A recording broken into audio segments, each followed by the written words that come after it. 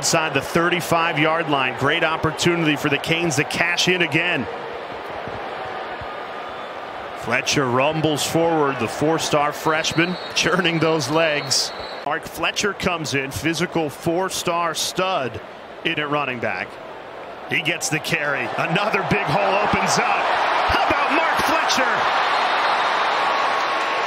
So I have two words on my chart next to Mark Fletcher. One is stud, and the other one is physical, because that's what Mario Cristobal kept telling us about him.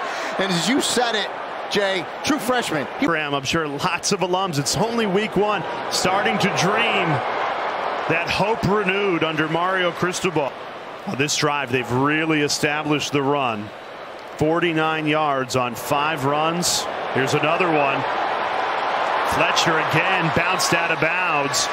With the additions of SMU, Cal, and Stanford are now going to enjoy the Miami offense going to work. The ground game was punishing Shot out of a cannon to start this third quarter. Right back to Fletcher. Runs through it.